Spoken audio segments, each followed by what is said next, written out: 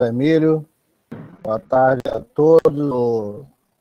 Realmente agradecer a, o convite, o convite de participar desse importante evento, que já acontece há alguns anos, e que agora tenho a chance de, de contribuir. Quero cumprimentar os organizadores, então, é, que dão essa importante contribuição à sociedade brasileira para discutir temas tão importantes. Né? É uma honra para mim. Quero cumprimentar o professor Bruno, que divide comigo esse momento. É, como o professor Zé Emílio falou, eu vou comentar um pouco sobre esse momento e sobre essa conexão que a gente entende que pode existir, ou uma nova conexão que possa existir entre sociedade e natureza. Na verdade, essa nova conexão é uma conexão que precisa ser resgatada. A sociedade humana sempre se moldou próximo à natureza, sempre foi uma sociedade que evoluiu próximo à natureza. Né? Nós temos a nossa história moldada é, junto com animais, com outros animais e com plantas. Desde o início da, da nossa caminhada sobre o planeta, desde o primeiro lampejar da inteligência humana, o nosso interesse sempre foi voltado para aquilo que nós chamamos de meio ambiente, né? Não por mera sensibilidade artística e prática, mas por pura necessidade de sobrevivência. Mas isso, de fato, foi se perdendo ao longo do tempo. E aí é curioso quando a gente ouve certas coisas como biodiversidade, como natureza, isso, de certa forma, nos parece distantes. É como se, ao longo da nossa história, nós construíssemos dois mundos distintos o homem, o mundo da, da humanidade e o mundo natural. Esse afastar é, que aconteceu naturalmente foi talvez o grande erro da história humana. Né? Nós, o, nós cometemos um erro capital ao pensar que a gente podia se isolar da natureza e não respeitar certas leis de alcance geral. Já há muitos anos, nós nos divorciamos do ambiente onde a gente vive e rompemos um pacto primitivo é, com, com a natureza de forma unilateral, considerando que nós éramos suficientemente fortes para seguir as leis que nós mesmos elaboramos. O que não é verdade. Né? A própria natureza, como um todo, mostra o tempo inteiro os nossos limites. É claro que a nossa evolução nos permitiu dominar ou é, sobrepujar as outras espécies. Fizemos isso na agricultura, por exemplo, né? domesticando uma série de plantas e uma série de animais. Todas as plantas que nós utilizamos na nossa alimentação são espécies domesticadas a partir de antepassados é, selvagens. Mas nós cometemos alguns equívocos bastante significativos, como a simplificar aquilo que a natureza nos deu de mais valioso, que foi a diversidade. Nós promovemos um fenômeno chamado erosão genética, onde a vida nos deu a diversidade, nós promovemos uma biosimplificação. Com isso, nós chegamos a limites muito sérios no planeta. Hoje nós temos dificuldades extremas para garantir a segurança alimentar. Eu costumo usar alguns exemplos bastante significativos como das maçãs, por exemplo. Em 1900, nós tínhamos 7.100 variedades de maçãs, das quais nós perdemos 6.100. Em 1949, nós tínhamos 10 mil variedades de trigo. Em 1970, só restavam mil variedades. Na, na própria base alimentar humana, a nossa relação com a natureza se mostrou equivocada ao promovermos um processo de simplificação, um processo contrário ao próprio ao que a própria natureza nos deu, que foi a diversidade. Nesse sentido, aquilo que a gente mais se estuda, mais se preocupa, no meu caso especificamente, que são as áreas protegidas, acabaram ficando como ilhas isoladas, onde a gente tem a chance de resgatar aquilo que sobrou é, e, é, e, é uma grande possibilidade de recuperação ou de preservação dessas, dessa segurança alimentar futura. Bom, eu comecei introduzindo esse assunto para insistir na necessidade da reaproximação da sociedade com a natureza.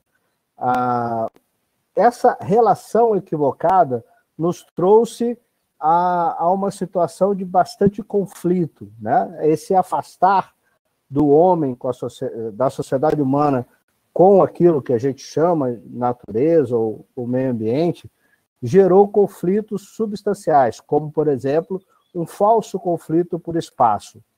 Há uma forte discussão, por exemplo, entre conservação e produção. Né? Nós destinamos hoje algo em torno de 30% do planeta, e isso vale aproximadamente para o Brasil também, para a produção alimentar, né? incluindo agropecuária como um todo.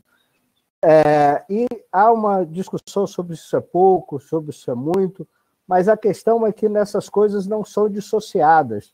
Você não produz alimentos sem um ambiente equilibrado. Então, não é, é por isso que eu disse que é uma falsa discussão entre, é, entre espaços né, de produção e de preservação. E mais que isso, ao longo dessa história, ao utilizarmos mal esse espaço, nós não só precisamos recuperar, é, nós não só precisamos preservar espaços, mas nós precisamos restaurar muitos desses espaços. Bom, essas relações desequilibradas, vindos de séculos, nos trouxeram onde nós chegamos, o surgimento de doenças, né? Estamos vivendo esse momento terrível de pandemias, de pandemia, não é a primeira na história da humanidade. Na verdade, doenças infecciosas emergentes e reemergentes são desafios de saúde pública já bem conhecidas. Né? O século XX reconheceu várias infecções humanas desconhecidas, além de muitas outras reemergirem ao longo ah, de anos né, de serem controladas. Vários pesquisadores, já no século XVII, já chamavam a, a atenção para a necessidade e para o cuidado que a gente deveria ter ao enxergar o avanço demográfico, o crescimento populacional, para se evitar o surgimento dessas doenças. Nós temos publicações do século XVII, por exemplo, como as, as publicações de John Grout, em 1662, onde ele já destacava os primeiros estudos de uh, população humana chamando atenção para as taxas de nascimento e mortalidade, relacionando isso com o, a, a, o aumento demográfico e o aparecimento de doenças. Então, hoje nós sabemos, por exemplo, que viroses são desencadeadas por atividades humanas que modificam ecossistemas e ambientes, portanto, são doenças consideradas complexas de serem solucionadas por, porque são reações a pressões demográficas e expansões urbanas frequentemente epidemias como as que a gente está vivendo, estão vinculadas à degradação, a impactos ambientais, ao comércio de carne, a vísceras de fauna silvestre, à destruição de hábitats provocados pela mineração, pelo desflorestamento, pela construção de rodovias e pela expansão urbana. Bom, uh, existem grupos de pesquisadores já no mundo, como um grupo bem conhecido, a Eco Health Alliance, que já chamava atenção que doenças emergentes nos últimos 30, 40 anos surgiram em consequência da invasão de terras silvestres por humanos e por mudanças demográficas. Nós já sabíamos né, que determinadas, é, determinadas situações são impulsionadoras de propagações de doenças, como desmatamento, mudança no uso da terra, anteriormente florestadas, o alto nível da biodiversidade, da vida silvestre, selvagem, populações humanas densas, especialmente onde essas estão crescendo rapidamente, e interações dos seres humanos com animais selvagens, criando muitas vezes oportunidade para que patógenos selvagens passem de uma espécie para outra. Então, o crescimento populacional, o grande adensamento populacional urbano, imagina que mais de 85% da população ocupa menos de 1% do território uh, brasileiro e mundial, né? Uh, esse grande adensamento populacional já era bem conhecido já no século XIX, uh, 18, 19, faz com que vírus, aparentemente, mesmo com baixa capacidade de dispersão, se favoreçam dessa, dessa proximidade.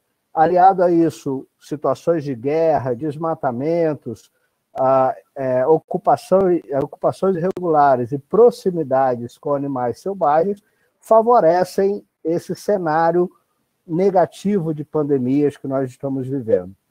Ah, estudos revelam que zoonoses são, que são as doenças transmitidas de animais para humanos, compreendem 60% de todas as infecções, doenças infecciosas em humanos e 75% de todas as doenças infecciosas emergentes. Né? E para vocês terem uma ideia, estima-se que hoje haja é, em torno de 1,67 milhões de vírus que ainda, ainda serem descobertos e que estão circulando entre mamíferos e pássaros na natureza, e estima-se que metade disso pode ser prejudiciais a humanos se entrarem em contato nós. Então, é, vejam que nós temos um, uma situação é, que, embora não seja nova, no sentido de que desconhecida, é, porque nós já passamos por isso em outros momentos da história, mas é uma novidade porque inaugura novas tecnologias, inaugura novos comportamentos. Eu não tenho dúvida que nós estamos inaugurando nesse momento o século XXI.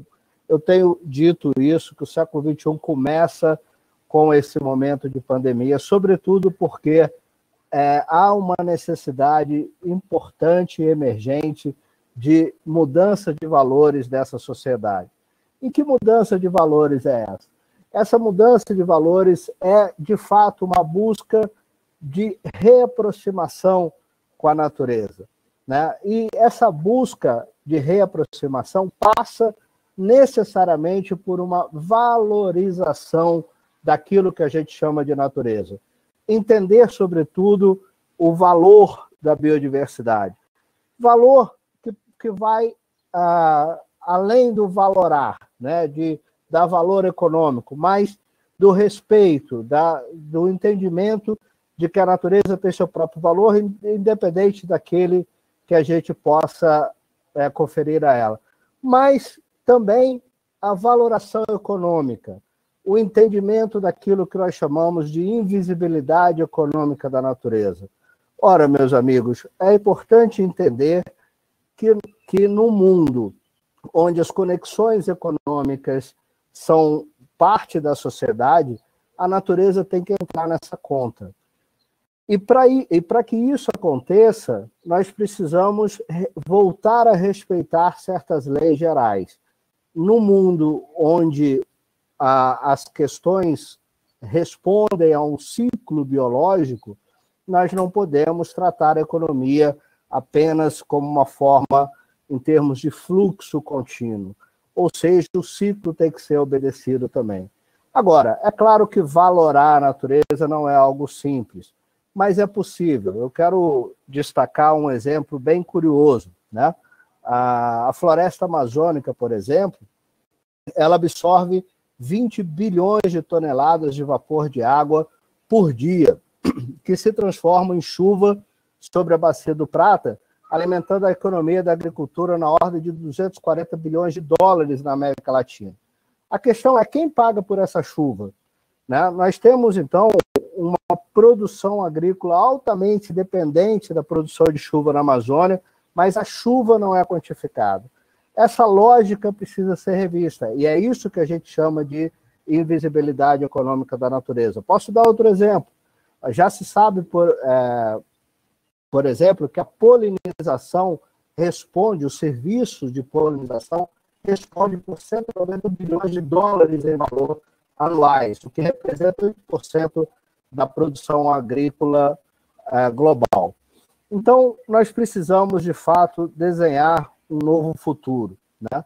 Um futuro que respeite essas conexões, que respeite uh, o valor que a natureza e os, os serviços que a, que a natureza nos preste e que isso seja contabilizado na nossa sociedade, sobretudo na nossa economia.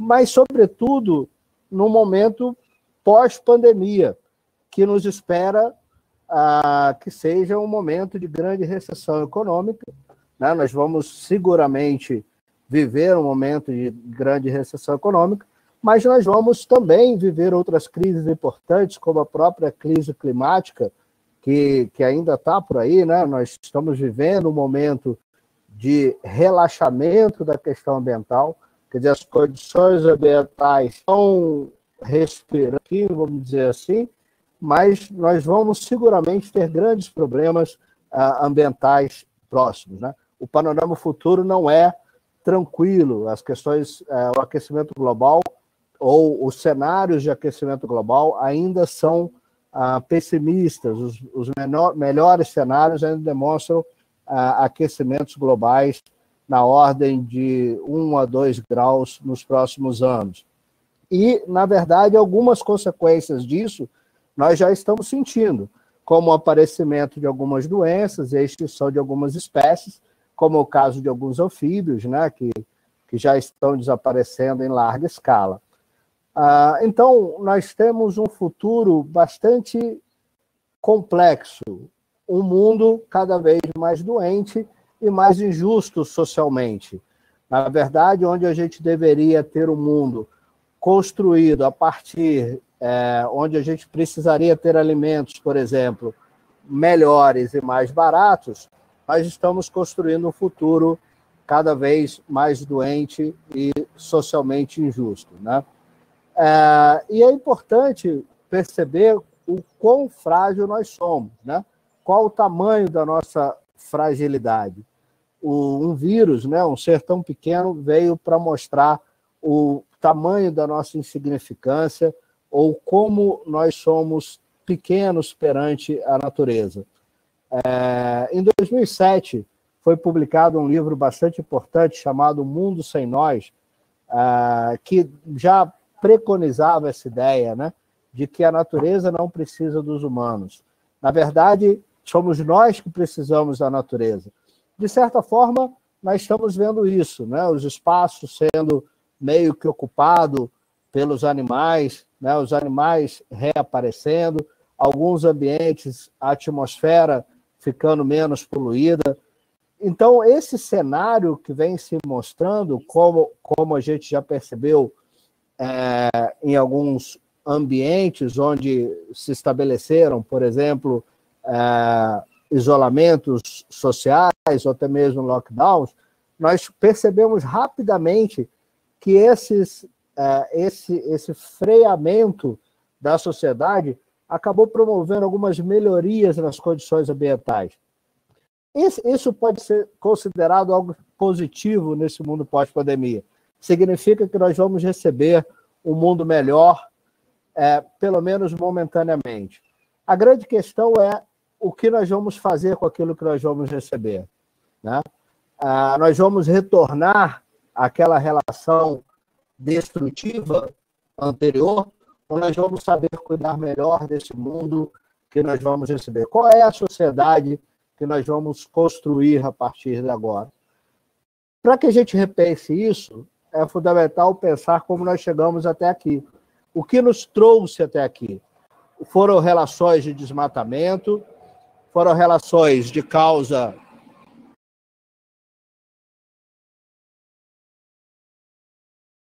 foram relações que promoveram é, um, um, comércio legal de espécies, relações é, de, de, expansão agrícola desenfreada, né, de um cenário de mudanças climáticas e, e sem controle.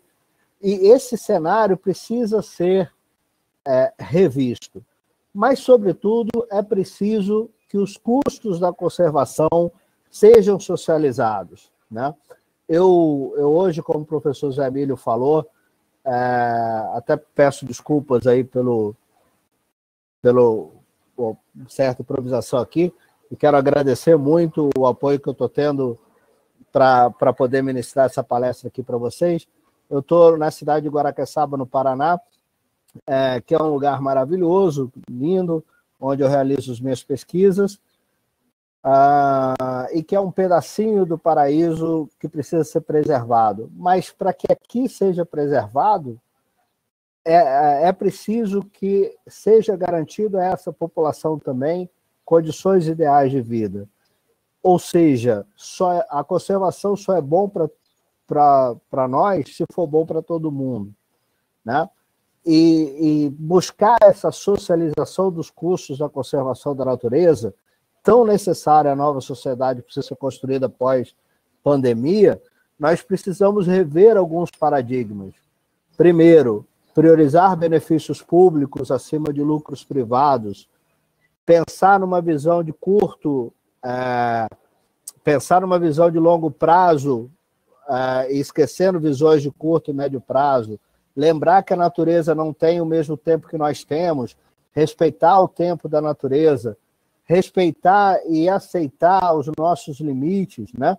aceitar a força da natureza e a sua magnitude, as, o tamanho das nossas ações e da nossa força frente à natureza não é nada.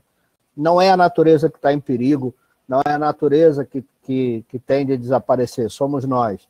E, e o entendimento disso, né, o entendimento dessa, dessa limitação ou dessa fragilidade é que precisa ser incorporada a essa nova sociedade, para que, sobretudo, aceitando o nosso limite, aceitando a nossa fragilidade, a gente dê um passo atrás e busque uma reconexão, um reencontro com aquilo que a gente perdeu, com aquilo que a gente isolou de nós mesmos, que é o que a gente de repente passou a chamar de natureza, independente da nossa própria sociedade, né? Bom, uh, alguns filósofos já nos alertavam para isso, né? Destacar aqui em 1854, quando Henry Thoreau, o Walden, né, o Visques, ele já, que é considerado o primeiro manual ambientalista do movimento ambientalista, ele já destacava isso, né? Precisamos voltar, precisamos retornar à natureza. Mas é, eu não quero aqui também apenas dar um discurso de um, como o professor Zé Emílio, meu grande amigo, falou aí, ah, nós estamos completando 25 anos de, de ambientalismo, profissão esse ano, ah, numa ONG chamada Grupo Brasil Verde. Ao longo desses 25 anos, é claro que, que a ação ambientalista, o ativismo ambientalista me, me moveu, mas eu acho que o discurso não pode ser apenas um discurso ah, movido pelo sentimento ah, da, da, conservação. Nós precisamos ter, ah, efetivamente, mostrar para as pessoas que a conservação traz resultados positivos para a vida dessa sociedade. E, e, e é importante destacar que a preservação dá lucro no momento de grande, como eu disse anteriormente, no momento em que a gente espera ter uma grande recessão econômica. Recentemente foi publicado um importante relatório que mostra que a conservação da natureza pode impulsionar a economia é, se a gente investir na proteção de apenas 30% do nosso planeta. Então, proteger 30% do planeta em áreas de preservação ambiental levaria a um aumento da produção econômica é, entre 64 e 454 bilhões de dólares por ano. Cada vez mais a recuperação da natureza ela tem sido vista como ponto essencial, vital no combate tanto às causas como aos impactos da crise climática, é, fornecendo proteções de longo prazo contra os efeitos extremos, ações, tempestades e secas. Costeiros, recifes de corais, por exemplo, que foram destruídos ao longo de décadas, quando restaurados, eles fornecem proteção valiosa contra inundações e tempestade, e tempestades, além de serem berçários para a vida marinha. É, proteger florestas e manguezais, por exemplo, pode reduzir as perdas econômicas da crise climática e outros danos entre 170 bilhões a 534 bilhões por ano até 2050. Proteger a superfície terrestre pode reduzir, desculpa, pode produzir benefícios nas áreas circundantes, como a redução da poluição do ar e dos sistemas fluviais que fornecem água limpa, bem como conservar hábitats apropriados à vida de inúmeras espécies selvagens. Né? É, segundo as projeções desse estudo recém-publicado, a conservação da natureza proporcionará, vejam bem, um crescimento econômico na ordem de 4 a 6% ao ano, bem considerável em comparação a 1% é, que prevê a agricultura, a pesca a suficultura após a pandemia atual. Né?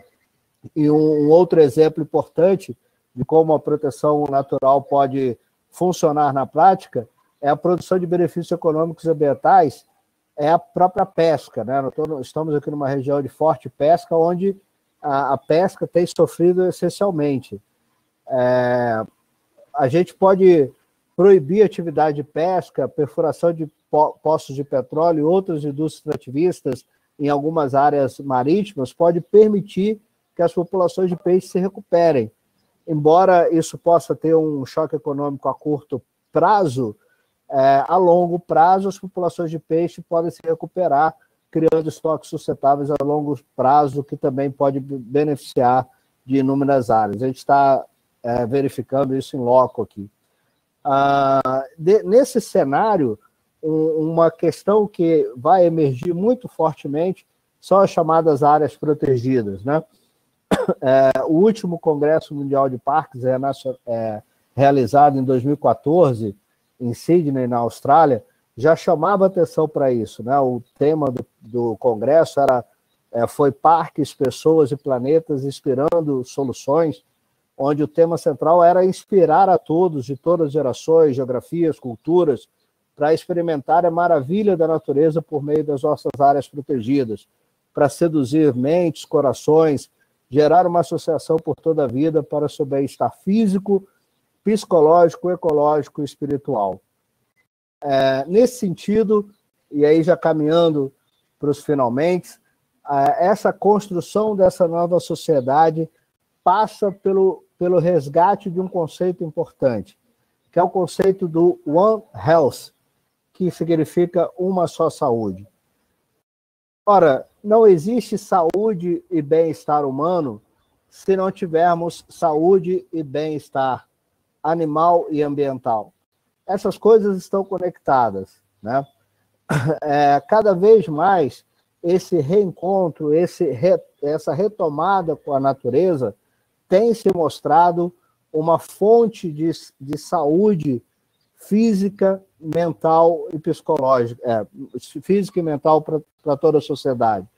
É, o jornalista Richard Louv publicou em 2000, é, já é, na, na, segunda metade da década de, de 2000, ah, o livro Vitamina M, né, parece que o professor Emílio está dando um mini curso sobre isso, que, que representa exatamente o bem que a natureza vem dando, uh, o contato com a natureza, o bem que o contato natureza, com a natureza dá a cada um de nós. Né?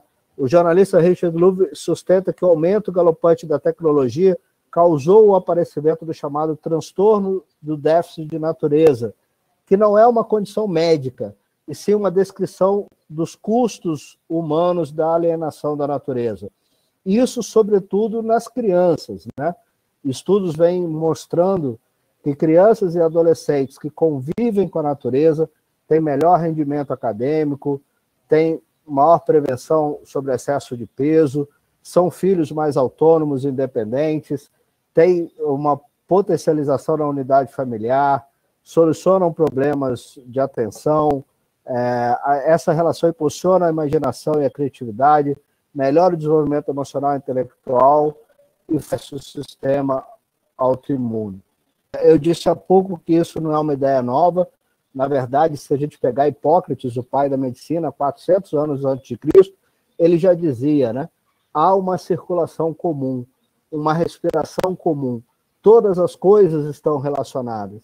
Então, isso não é novidade. Nós só não utilizamos, né? Nós precisamos esquecemos de aplicar o conhecimento que já estava aí, já desde a Grécia Antiga. Então, nós precisamos aprender com a natureza, nós precisamos respeitar a natureza. O conceito de Gaia, estabelecido aí e tão popularizado por James Lovelock, precisa ser fortalecido. Né? Essa nova sociedade precisa dar esse valor. Nós precisamos buscar, sobretudo, uma economia que reconheça o valor da natureza, fundamentada no no, no que a gente chama de empregos verdes, que foi o tema central da Rio Mais 20, né? que são empregos que contribuem para a preservação e restauração da natureza, que aumentem a eficiência, mas que limitem as emissões de gases de efeito estufa, que minimizem os resíduos e as contaminações, que contribuem para minimizar as mudanças climáticas, que produzam bem e que prestem serviços uh, que beneficiem as pessoas, mas também que beneficiem o ambiente. Ora, não há nada que nós não sabíamos, nós só esquecemos de aplicar esses conceitos e nós precisamos aplicar esses conceitos agora. Bom, desculpa, gente. É, então, eu queria concluir dizendo que é, é, fundamental que a gente aprenda a resgatar esse contato com a natureza. Isso é extremamente importante para a construção de um mundo moderno, de uma sociedade pós-pandemia. Nós só vamos nos livrar da, é, de, de pandemias ainda piores e vamos manter uma sociedade mais justa, mais saudável e, e gerações mais protegidas, construindo essa sociedade mais harmônica e, sobretudo, mais reconectada com a natureza. Eu quero mais uma vez agradecer a paciência de vocês, agradecer o convite que me foi feito pelo meu meu amigo, meu irmão José Emílio, cumprimentar o professor José Luiz que está aí, e todos que participam da organização, agradecer a todo mundo que me permitiu é, participar desse evento, mesmo estando aqui tão longe de vocês. Muito obrigado e estou à disposição para perguntas.